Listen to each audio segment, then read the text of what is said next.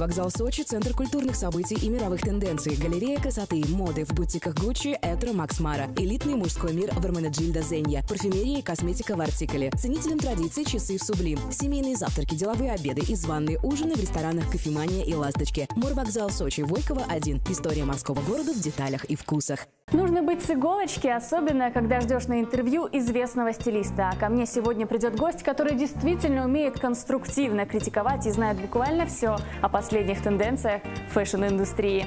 Телеведущий, эксперт моды, а с недавних пор еще и видеоблогер в море откровений Александр Рогов. Мы начинаем.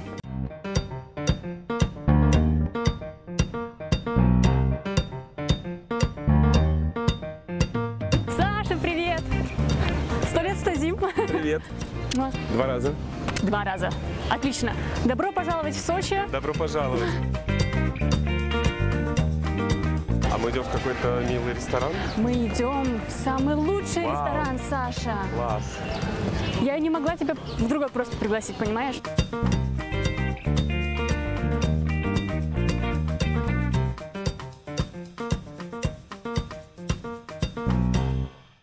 Все, тишина, мы пишем. Ой, мама, что будет? Кристина, что ты со мной делаешь? Ты замужем, наверное, да, уже? Мог бы и поделиться, конечно же, с нами. Прям Кристина какая-то хочет узнать все мои гонорары. Стройка будет мешать, да? Скажите, что президента снимаем. Всем рулит Саша Рогов. Зачем все Так остальные? потому что все спят. Ты прям подкована. Ну как не видят? Подожди. Что ты будешь делать? Мне не жалко, на самом деле, я вам контент просто делаю. Там случаются денежки. В магазине я кое-что украл. Мамочка, что я сделал? Я тебя люблю. А сейчас новая рубрика. 25 неудобных вопросов Кристине. Я аж напряглась. Саша, привет. Привет еще раз.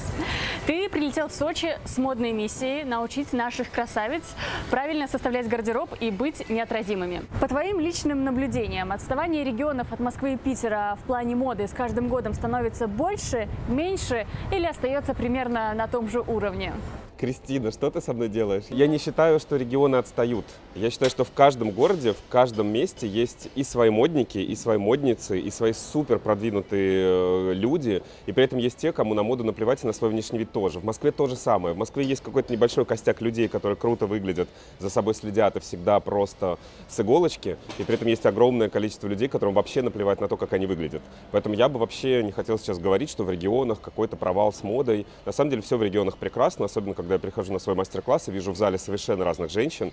И обычно будет как? Первые ряды — это самые модницы, самые крутые, самые дерзкие, классные и интересные. А вторая зона — это те, кто уже неплохо выглядят, но они хотят дотянуться до первых рядов. И на последних рядах будут сидеть те, кому интересен просто я как персонаж. И моя задача в рамках моего мастер-класса — достучаться до всех.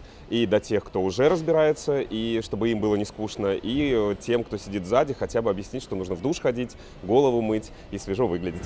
Это правда нужно К объяснять. сожалению, самые простые истины нужно объяснять. И ничего с этим не поделаешь. Фу, Какой я бьюти-блогер? Нужно рассказать, что есть душ, нужно рассказать, что от вас должно приятно пахнуть, потому что вы можете быть одетыми в самое простое недорогое платье, но при этом источать прекрасный аромат, и ваше платье будет выглядеть просто в 10 раз дороже. А есть те, кто могут надеть красивое, дорогое, невероятное платье и при этом забыть о гигиене. Такое случается, правда. Я сегодня буду рад поделиться с вами своими секретами, своим мастерством. Есть кто-то, у кого из зала есть моя книга? Эта вещь возвращается на свою пустую вешалку. Все. А еще классное правило, которое со мной сработало, заведите кота. Единственное, что мы можем с вами хранить по несколько вещей на одной вешалке, это брюки или юбки. Показ Шанель всегда в Париж происходит в 10 утра, не раньше. Надеть кутюрное платье в полное просто не может. Днем оно будет неадекватно.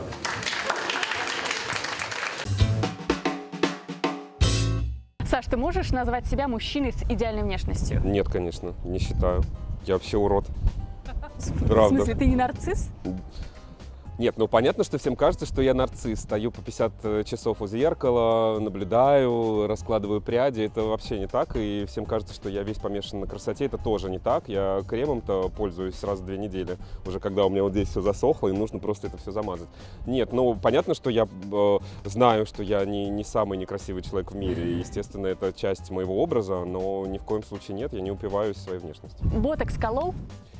А, Ботокс ни разу не колол. У меня живая мимика. И э, благодаря моей маме и э, моим генам я прекрасно выгляжу. Правда?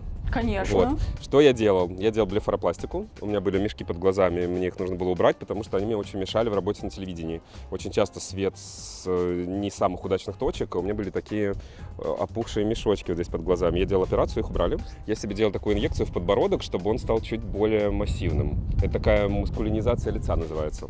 И мальчикам очень часто такую процедуру делают, особенно тем, которые даже об этом потом никому не расскажут. Просто доводится инъекция, и подбородок становится чуть более массивным. Но я делал однажды, больше не повторял. То есть ты сейчас э, продолжаешь работать э, с частными клиентами? Ну, на самом деле, я сейчас очень редко с частными клиентами работаю, потому что у меня на них нет времени. Что такое частный клиент? Это человек, в чью жизнь ты практически должен полностью интегрироваться. Тебе нужно контролировать этого человека, это постоянное обновление гардероба. А, у меня такой быстрый режим работы, что работать долго с частным клиентом, особенно если мы говорим о человеке обеспеченном, а, я не могу. А были неблагодарные клиенты? У меня была одна ситуация с одной частной клиенткой, очень обеспеченной и достаточно известной дамой. У нас практически до суда дошло дело в итоге. Ну, давай мы не будем эту ситуацию сейчас вспоминать. Мамочка, что я сделал? И дело не в том, что она была чем-то недовольна, недовольна или я был чем-то недоволен. Ну, в общем, как-то так получилось. Вообще есть мнение, что работа стилиста – это быстрые и легкие деньги. Опровергни или согласись. Это неправда я опровергаю. Это не быстрые деньги, это не легкие деньги, и очень часто это даже не деньги. Потому что профессия стилиста — это творческая профессия. когда ты в нее идешь, ты должен быть готовым к тому, что первые несколько лет ты вообще деньги зарабатывать не будешь. Ты будешь зарабатывать авторитет.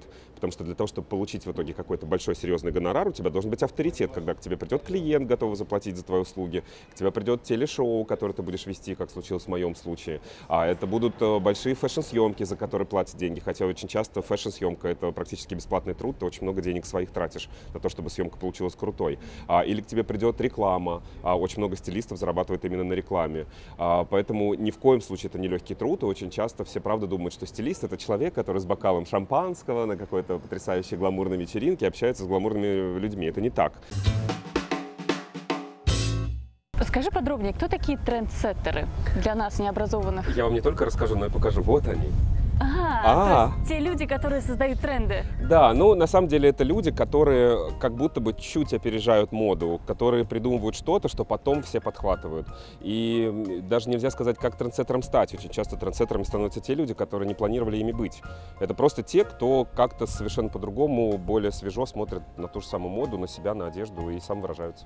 У Ольги Бузовой есть ее фирменный хэштег «Я создаю тренды». Ее можно назвать трендсеттером? Когда мне спрашивают, можно ли носить колготки в крупную сетку, рубашку под джинсы с дырками. Я говорю, вот если Ольга Бузова это уже сделала, вам уже не нужно. Поэтому я бы сказал, что Ольга Бузова, конечно, это антитрендсеттер. Все, что она делает, уже повторять не стоит. И она делает обычно гораздо позже, чем те реальные трендсеттеры. Так что никакие тренды Ольга Бузова не создает. Но при этом а, я правда уважаю ее работоспособность, то, что она делает, насколько она самоуверена, насколько она двигает свой продукт.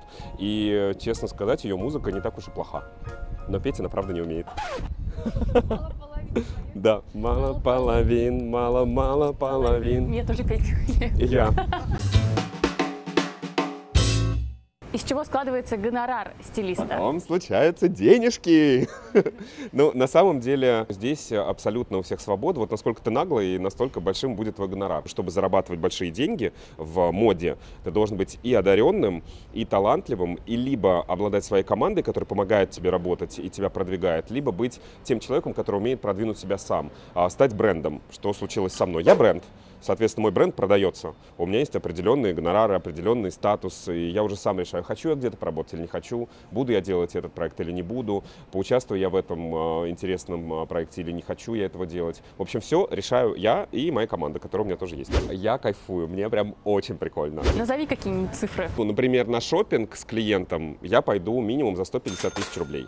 Это будет только мой гонорар, в него, не в него не входит то, сколько денег мы потратим на одежду. И я получу эти деньги даже в том случае, если мы не купили ничего. Потому что я потратил свое время, а мы не купили ничего, потому что мы просто ничего не нашли. Потом случаются денежки. У меня есть шопинг, к которому я готовлюсь. То есть я не иду, как многие стилисты, сразу своим клиентам по магазинам, что найду, то покупаю. Мы делаем э, так называемый researching, мы готовимся за несколько дней к этому дню шопинга, мы выходим по магазинам, откладываем какие-то вещи, их отвешиваем, потом уже с клиентом вместе обходим и примеряем те самые а, возможные покупки или какие-то интересные находки. А, вот, пожалуйста, тебе 100 150 тысяч рублей. При этом а, у меня есть телешоу, на котором я получаю гораздо меньшие деньги. И одна серия с моим участием обходится а, нашему каналу гораздо меньшую сумму. Я не хочу называть сейчас свой гонорар. А, но при этом я понимаю, что я делаю свое телевизионное шоу, имею возможность потом мой телевизионный опыт монетизировать и получать деньги на мастер-классах, на работе с какими-то частными историями, на рекламе. Хотя, опять-таки, на рекламу и на частных клиентов времени практически не остается. При этом у меня есть свой бренд одежды, который мы тоже параллельно запускаем, но это скорее мое хобби отдушно. Я туда инвестирую. Мы не берем никаких кредитов, э, а, не занимаем деньги. Я занимаюсь этим полностью самостоятельно, и все инвестиции — это мои личные инвестиции, мои личные заработанные деньги. Поэтому здесь монетизация, она на самом деле совершенно по-разному работает. На каком-то проекте ты заработаешь меньше, но при этом этот проект принесет тебе статус, и за счет этого статуса на другом проекте ты заработаешь больше. И все, и получается вот такая история. Mm-hmm. Прям Кристина какая-то хочет узнать все мои гонорары. Да? Конечно. С налоговой у нас все в порядке. Вот, вот что я хотела услышать. Налоги платим изрядно, все в порядке.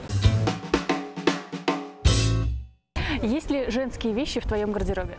Да, в моем гардеробе есть женские вещи. Вот буквально недавно я купил себе в женском отделе толстовку Balenciaga, салатовую такую с капюшоном. купил? Купил. Я коллекционирую женскую обувь. Я не фетишист ни в коем случае, но а мне как стилист очень часто женская обувь нужна на съемках, например, селебрити, звезд, и чтобы не ехать в какой-то шоурум ее брать, у меня она есть уже дома. Это так называемый шкафчик стилиста. У меня есть офигенные кожаные такие высокие ботфорты. А, Кристиан Лабутан в клепках, а, в таких же когда-то в клипе с вами снимал Скайли Миноук. А, у меня есть, кстати, несколько вещей Гуччи женских, например, такие брюки шелковые в цветах цветах.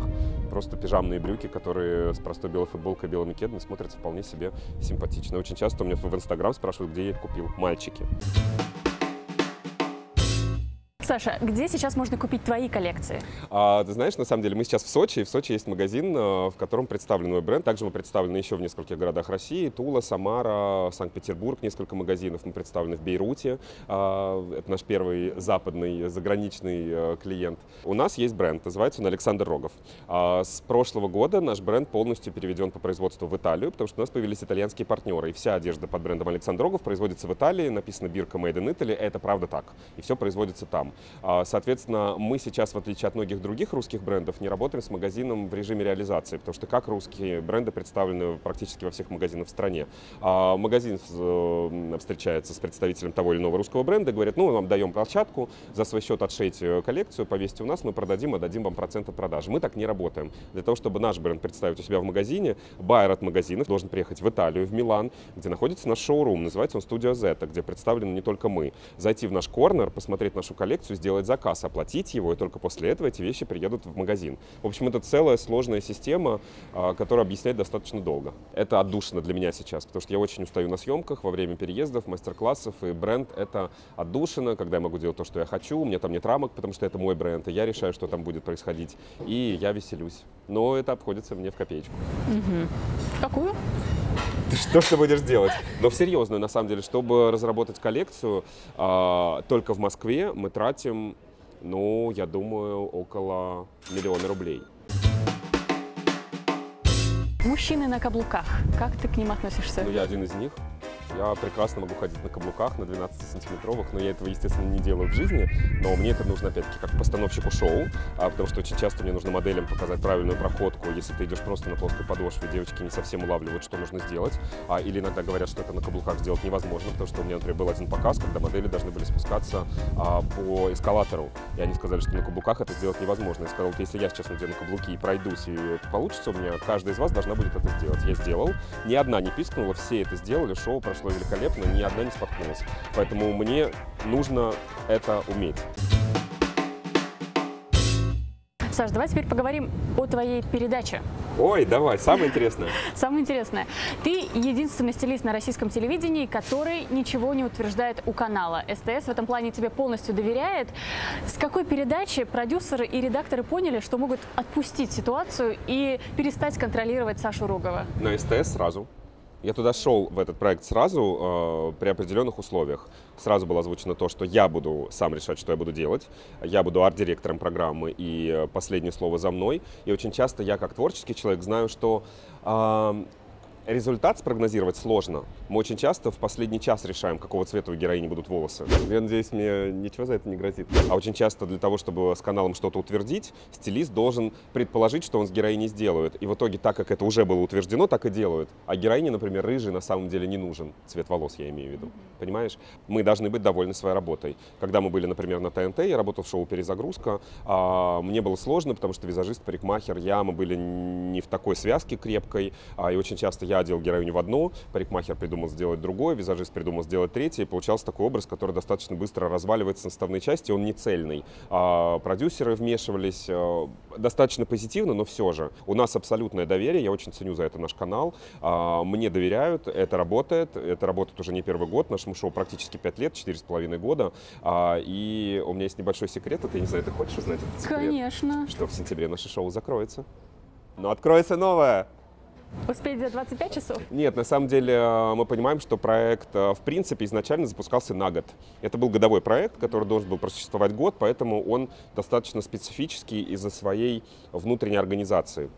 Мы делаем преображение за сутки. И то, что мы его делаем за сутки, мы не можем себе позволить определенных нюансов, например, пластики, каких-то реально серьезных психологических экспериментов, потому что они за сутки не сработают. То есть мы должны сделать только то, что реально сделать за день, за те самые несчастные 24 часа. Мы сейчас хотим реорганизовать проект, придумать новую фишку, которая в проекте будет. Это будет уже не 24 часа, но цифра 24 в проекте останется. А, это будет новое шоу, это будет мейковер-шоу со мной, но оно будет действовать по новым правилам, совершенно иначе, совершенно по-другому будет выстроено, так что следите за эфирами. А я знаю, что ты еще мечтал о своем большом ток-шоу. Я до сих пор мечтаю. Это будет какая-то модная версия «Пусть говорят».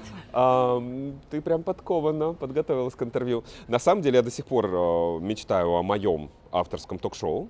Это, естественно, будет э, будет. Я говорю, как будто бы это уже будет. Потом случаются денежки. Шоу с элементами ток-шоу а, о стиле жизни. Опять-таки о том, что мыться нужно, о том, что нужно пользоваться дезодорантом, а, как хорошо выглядеть с интересными героями, актуальными, не вот этими какими-то сбитыми летчиками, которые ходят по всем каналам, сидят и одно и то же рассказывают. Я хочу свежую кровь, я хочу людей из интернета. YouTube, я тебя люблю. Я хочу позвать каких-то классных людей, которые будут помогать мне с контентом. Это люди не из телевидения. Мне хочется сделать телек, но не с теми, кто телек делает. И я хочу вот по чуть-чуть взять отовсюду. И из проекта «Подиум», и из «Топ-модель по-американски», и из оперы с классными, глубокими, интересными интервью философскими. То есть это будет такая фабрика хорошего настроения. Я надеюсь, что это получится реализовать на СТС, потому что мне очень нравится концепция СТС, что это семейный канал, это канал, который я могу сидеть, смотреть вместе с моей мамой, племянником, папой и моей сестрой, и мне будет не стыдно ни за одно слово, которое произнесено в рамках этого канала, потому что есть другие шоу, которые и другие каналы, которые бьют ниже пояса, и иногда мне даже как-то неуютно и неудобно просто перед людьми, с которыми я вместе смотрел телевизор в этот момент. Я сейчас говорю, например, о канале ТНТ. Ну, наверняка ты следишь за коллегами, э, за модными передачами на других каналах. Слежу. Какие... Следишь. Э, какие тебе нравятся, а какие ты сразу переключаешь? Ну, во-первых, я правда слежу за коллегами, потому что я должен быть в курсе того, что происходит на других каналах. И очень часто вижу то, что мы и мое шоу «Успеть за 24 часа» является мотиватором для других шоу. У нас очень часто воруют идеи, сцена, сценарные какие-то фишки, и я это вижу, потому что я это вижу спустя месяц-два после того, как наши фишки появились в кадре. На самом деле, я смотрю перезагрузку, потому что когда-то я там участвовал, и мне не нравится перезагрузка. И даже если бы у перезагрузки хватило бы ума пригласить меня как консультанта, хотя бы один разочек, я бы рассказал, что у них не так. А, я смотрю «Модный приговор». «Модный приговор» а, доказал то, что он абсолютно жизнеспособен, 10 лет уже в эфире Первого канала, но мне не нравятся шоу, в которых не показывают, как они сделали преображение. Стройка будет мешать, да? Скажите, что президента снимаем. Девочка ушла в комнату, вернулась уже преображенная, и никто нормальным человеческим языком не объясняет, что они сделали. То есть это не полезная программа, она развлекательная. Мы даем инструменты, другие шоу инструментов не дают, они просто рассказывают. Поэтому наше шоу развлекательное и прикладное. И таких программ на телевидении российском больше нет. Как нескромно. А, а зачем мне скромничать, если, если это Если правда это так? правда. Я абсолютно адекватен. И на самом деле я знаю какие-то промахи в нашей программе, и что там, возможно, не до конца правильно сделано. Хотя у нас все хорошо. А, а у нас есть внутренние там небольшие нюансы, но мы все время с ними боремся, но зрители этого не видят. А, Ну как не видят? Подожди, я посмотрела Так, твой давай. блог на YouTube. так. Э, Что происходило за кулисами? И ты там откровенно тянешь одеяло на себя. Так. Тебе нужно контролировать буквально все. Мне не нужно, мне И необходимо. мне кажется, я смотрю и думаю, зачем столько редакторов, продюсеров на площадке, когда всем рулит Саша Рогов? Зачем все Так остальные? потому что все спят, понимаешь? А чего они все спят? Ну, потому что я тот человек, который хочет сделать это шоу классным. А очень многие люди просто работают. Ну, это как прийти на работу и от звонка до звонка э, поработать. Я могу сам принести стремянку, могу сам помыть пол, я могу сам подмести волосы героини, когда мы ее постригли, потому что я хочу быстрее войти в кадр, отработать и поехать домой. Такое было? Зачем мне? Конечно. Зачем мне а, стоять как звезда какая-то невозможная, ждать, пока меня позовут на площадку, если могу выйти сам и дать всем вот так. Новый блог, расскажи о нем. Так, сколько у вас просмотров там в YouTube? У Лены Темниковой 300 тысяч. Ну, Вот 300 тысяч. Давайте сейчас расскажем. Во-первых, подписывайтесь срочно на канал Rogov Live YouTube. Мы запустили его в середине марта. Честно говоря, я вообще не ожидал, что YouTube — это отдельный мир. Вот что происходит в YouTube, такого не происходит вообще нигде. И я сейчас очень сильно расстраиваюсь, что я не сделал это раньше. Ой, мама, что будет? Я так хочу людей замотивировать и хочу показать, как я живу и какие проекты еще я делаю, о которых никто не знает. А сейчас мы это запустили, мне не- необходимо было найти того человека, который сможет это делать а, так, как я себе это вижу. И вот, собственно, со мной здесь сегодня один из моих помощников, его зовут Кирилл, с нами все время маленькая камера. Мы сами все это монтируем, при этом у меня большой опыт работы редактором, поэтому обычно перед тем, как влог появляется в YouTube, я его вижу в некой рыбе, а, вношу свои изменения, мы что-то переставляем местами, доклеиваем, доделываем, что-то убираем, что-то добавляем. А, Влог выходит, и я кайфую, мне прям очень прикольно. Мы стараемся быть максимально разными, мы делаем влоги о путешествиях, или это полезные влоги, например, шопинг, где я показываю, какие вещи в магазине представлены. Я единственный beauty-влогер, какой я beauty-влогер? Я единственный fashion-влогер сейчас, который не просто ходит по магазинам и трясет шмотками. Я рассказываю истории брендов, кто в этих брендах сейчас работает, почему эти вещи столько стоят, из чего они изготовлены, с чем их носить, предлагаю какие-то варианты. А, и опять-таки даю возможность тем людям, которые боятся заходить в дорогие магазины, хотя бы в этом магазине побывать и понять, что там, и при этом объяснить, что в этот магазин стоит зайти, даже если вы не можете пока себе позволить купить эти вещи, но посмотреть их, потрогать, понять, почему они столько стоят, а, прицениться. Возможно, когда-то вы выйдете на новый уровень, и вы будете клиентом этого магазина. Я тоже когда-то а, приехал из Тулы в Москву и э, в штаны накладывал перед тем, как зайти в дорогой магазин, просто лишь бы эти вещи потрогать. В общем, это мой новый рупор. Вот. Rogov Live, подписывайтесь, ставьте лайки, комментируйте. Простите. Да, я должен использовать любой шанс. Поэтому YouTube, я тебя люблю. Я тоже. Белла Хадид или Джиджи Хадид? Конечно, Джиджи. Ненавижу Беллу, просто мертвая селедка. А Джиджи классная, прикольная, дерзкая и крутая. Джиджи исключительно. Почему селедка? Ну а что, она все время вот такая. Ни одной эмоции никогда у нее нет на лице. Мне вообще она не нравится. Это абсолютно продюсерский проект, абсолютно коммерческий проект. Есть семья Хадид. У них есть две дочери, Джиджи и Белла. Круто, что они разные.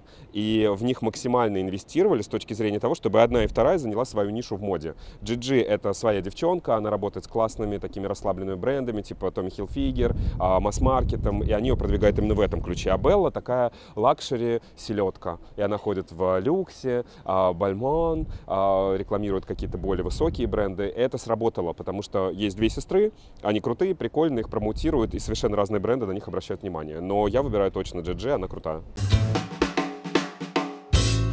Последний вопрос, Саша. Мой самый любимый. Все гости программы «Море откровений» рассказывают нам о каком-нибудь неизвестном факте своей жизни, который прежде они нигде и никогда не афишировали. Блин, мне надо было предупредить. Но я никого не предупреждаю. Так неинтересно. У меня есть факт, но я не буду рассказывать. Не пойдет. Ну, пожалуйста. Ну, маленький. Ну что, рассказать? Ну да, да. Ой, мама, что будет? Вам этот факт сделает просмотры. Я надеюсь, мне ничего за это не грозит. Но на самом деле, однажды а, в, Маг- в Берлине, когда я жил в Берлине, Кирилл уже знает, о чем я хочу рассказать. А, а, Короче, я жил в Берлине достаточно долгое время. Мы работали на проекте для канала ТНТ. Это было большое реалити-шоу «Голод». Я работал там ассистентом режиссера. И однажды у меня был выходной день, я пошел по магазинам, и в одном большом магазине я кое-что украл.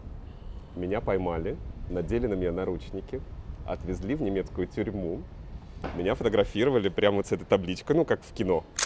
Я ночь провел в этом месте с бомжами какими-то адскими. Но в следующий день меня отпустили, потому что меня простили. Вот, такой есть факт. Кристина, что ты со мной делаешь? Это был большой универмаг, э, и я, как сейчас помню, положил в свою сумку дезодорант Шанель. Не знаю почему. Вот я не знаю почему. Вы правда первая, кому я это рассказал. Мамочка, что я сделал? Это был хороший урок, что так делать нельзя и так делать не нужно. Саша, это был прекрасный разговор. Спасибо, что пришел к нам. Спасибо, что позвали. Мне было очень приятно, тем более с таким видом в Сочи, с такой прекрасной девушкой посидеть на веранде. Спасибо. У нас в гостях был телеведущий и стилист Александр Рогов. Смотрите программу «Море откровений». Ставьте лайки, подписывайтесь, переходите на канал Рогов Лайв. Но после просмотра программы «Море откровений». Естественно, только так. Мы сейчас делаем селфак. Селфак? А что это?